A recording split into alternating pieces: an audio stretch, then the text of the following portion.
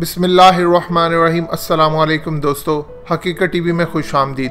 دوستو، چینل کو سبسکرائب کریں اور بیل آئیکن پر ضرور کلک کریں تاکہ ہر ویڈیو آپ کو وقت پر ملتی رہے۔ فخر عالم، پوری دنیا میں ہائپ کریٹ کر کے گیا کہ وہ دنیا کا چکر لگانے جا رہا ہے، پاکستان کا نام روشن کرنے جا رہا ہے پرائیویٹ تیارے پر۔ میں نے تین سال محنت کی ہے، میں تین سال بعد آج اس مقام پر پہنچا ہوں کہ پاکستان کے لیے کچھ کر سکوں۔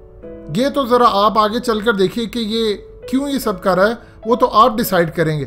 انہوں نے اس کی مارکیٹنگ کی، اس کا کیا مقصد تھا وہ سب کچھ حقیقت ٹی وی آپ پر چھوڑتا ہے۔ لیکن کوئی شخص پاکستان کو سازش کے تحت بدنام کرے یا انڈائریکٹلی طور پر کسی بھی طرح بدنام کرے، اس کی بخشش نہیں ہوگی۔ فخر عالم کے بارے خبر آئی کہ وہ جاپان سے ہوتے ہوئے روس پہنچے۔ میڈیا نے خبر چلائی کہ فخر عالم روس پہنچے۔ وہاں سے ایک دم طوفان آیا، فخر عالم کو گرفتار کر لیا گیا۔ ان کا پیغام آیا کہ وہ پھنس چکے ہیں۔ نہ کھانے کو ہے، نہ کچھ ہے، نہ انٹرنیٹ ہے، نہ مجھے کوئی فیسلٹی دی جا رہی ہے، حراست میں رکھا جا رہا ہے۔ لوگوں نے سوال پہلے اٹھائے کہ بھئی اگر انٹرنیٹ نہیں ہے تو تم پیغام کہاں سے دے رہے ہو؟ پوری دنیا میں ایک پیغام گیا کہ پاکستان کے ذریعے دنیا بھر میں چکر لگانے والا پاکستان کو ایسے ذلیل کرتا پھرا ہے اور روس کے اندر جا کر وہ پھنس گیا۔ حالانکہ بڑی مشکل کے ساتھ پاکستان کے روس کے ساتھ تعلقات قائم ہو رہے ہیں۔ بھارت سمیت دنیا بھر میں خبر گئی کہ پاکستان کا بندہ گرفتار ہے، کوئی فریاد نہیں، ہر جگہ پاکستان کی بدنامی۔ سب سے پہلے بھارت میں آرٹیکل چھپے، روس کے ساتھ ہم لوگ اتنی مشکل سے تعلقات بہتر کرے ہیں۔ آپ اندازہ کریں کہ بھارت پر امریکہ نے پریشر ڈالا، پابندی کی دھمکی دی کہ روس سے تعلقات ختم کرو، ڈیل ختم کرو، چار ارب ڈالرز کی ڈیل کینسل کرو۔ امریکہ، اسرائیل کو بھارت نے نہ کر دی، صرف اس لیے کہ پاکستان روس کے قریب ہو رہا ہے اور پاکستان روس کے بالکل ساتھ نہ چلا جائے۔ اس کو پتا ہے کہ روس پاکستان کے قریب آ گیا تو پاکستان دنیا کا بہترین ہتھیار بنانے والا ملک بھی بن سکتا ہے کیونکہ روس کے پاس یہ ساری صلاحیت ہے اور وہ پاکستان میں پروڈکشن کا کام شروع کر سکتا ہے اور جو کہ اس نے کرنا بھی ہے۔ وہ پاکستان کے ساتھ مل رہا ہے۔ اس کی سب سے زیادہ تکلیف بھارت کو تھی اور اس نے انکار کر دیا۔ کہ وہ کسی صورت روس سے اپنی ڈیل کینسل نہیں کرے گا، کیونکہ روس نے بھی اس کو دھمکی دی تھی کہ اگر وہ کسی طرح ڈیل کینسل کرتا ہے تو اس کا رخ پاکستان کی طرف ہوگا۔ روس کی چودہ فیصد آبادی مسلمان ہے اور اس کی فوج میں چالیس فیصد مسلمان ہے۔ تو خیال ہے روس پاکستان کے قریب آ جائے گا اور آ بھی رہا ہے۔ جنرل راہیل نے دوبارہ روس کے ساتھ تعلقات بہتر کرنے کے لیے کیا کمال دورے کیے، پھر جنرل باجوہ نے اس لیگیسی کو آگے بڑھایا۔ اوپر سے خبر آئی ہے کہ اب ہوا یوں ہے کہ روس نے جب دیکھا کہ پرپگنڈا ہو رہا ہے، فخر عالم کی طرف سے جھوٹ بولا جا رہا ہے۔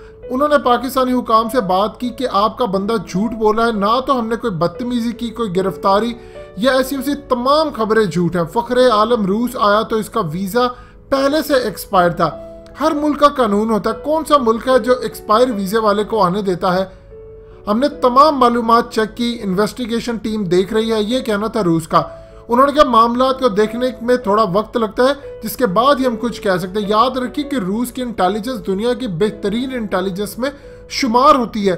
وہ کوئی بھی معاملہ دیکھنے سے پہلے اس کو پرکھتی ہے۔ ابھی یہ حالت ہی تو اس جناب نے ویڈیو جاری کر دی کہ یہ ہو رہا ہے، وہ ہو رہا ہے۔ عمران خان کی طرف سے اس معاملے کا نوٹس لیا گیا۔ پاکستانی حکام نے رپورٹ پیش کی کہ فخر عالم ایک جھوٹا انسان ہے۔ اس نے پاکستان کو بدنام کرنے کے لیے یہ سارا ڈرامہ کیا ہے۔ اور اس میں پاکستان اور روس کے تعلقات پر اثر بھی پڑا ہے۔ اب آپ خود بتائیں کہ ساری دنیا میں اس بندے نے ہائپ کریٹ کروائی کہ یہ پاکستان کا چکر لگانے جا رہا ہے، یہ پاکستان کا نام بنانے جا رہا تھا، یہ پاکستان کو بدنام کرنے کے لیے جا رہا ہے۔ روس میں جا کر اس نے تماشا کیا، ویزا اس کا اپنا ایکسپائر ہے اور معاملات اس نے جا کر وہاں روس کے اوپر پھینک دیے کہ میری کوئی مدد نہیں کر رہا، فلانا نہیں کر رہا۔ ہم نے روس کے ساتھ تعلقات بہتر بنانے کے لیے کیا کچھ نہیں کر رہے ابھی؟ آپ کبھی روسی ٹی وی لگا کر دیکھیں یا اس یوٹیوب پر آپ ان کے دیکھیں کہ ان کے صدر پیوٹن کس طرح الومناٹی کے خلاف بولتے ہیں، فری میسن کے خلاف بولتے ہیں، اسرائیل کے خلاف بولتے ہیں۔ یعنی وہ وہی ایجنڈا رکھتے ہیں جو ہم لوگوں کا ایجنڈا ہونا چاہیے، ہم ان کے قریب ہوں۔ آپ ذرا اندازہ کریں کہ ابھی تک حال ہی میں می ٹو کیمپین نے فائر نہیں کیا تھا یعنی بہت زیادہ اوپر نہیں گئی تھی، تو پچھلے سال ان کے صدر نے کہہ دیا تھا کہ ایک فراڈ ہے، دھوکہ ہے۔ آج حقیقت ٹی وی سمیت پوری دنیا جب اس پر ڈسکس کر رہی ہے، لیکن اس سے پہلے ان کے صدر نے یہ بات کہی تھی کہ یہ ایک میڈیا کی پروپیگنڈا گیم ہے۔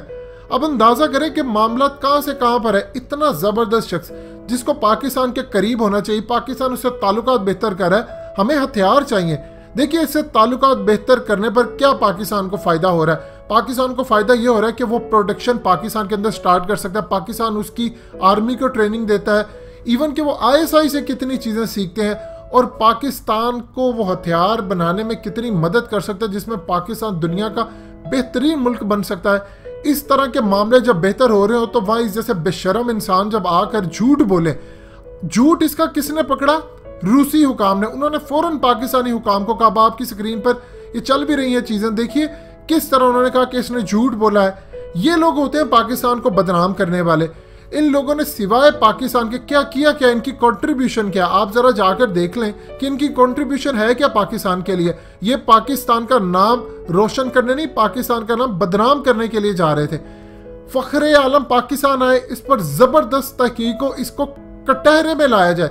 کہ تم پاکستان کے ممالک کے ساتھ کس طرح اس کو جھوٹ بولا ہے؟ وہ تو شکر ادا کرے کہ روس والوں نے اس کو کچھ کہا نہیں، لیکن ابھی اس نے پروپیگنڈا کرنا شروع کر دیا ہے۔ یہ اس طرح پاکستان بہتر نہیں ہو سکتے۔ یہ جس طرح آپ سمجھ رہے ہیں کہ پاکستان کا نام ہم روشن کریں گے، یہ پاکستان کا نام روشن نہیں کرنے تم گئے تھے۔ تم پاکستان کا نام برباد کرنے کے لیے گئے تھے۔ دوستو، چینل کو سبسکرائب کریں اور بیل آئیکن پر ضرور کلک کریں تاکہ ہر ویڈیو آپ کو وقت پر ملتی رہے۔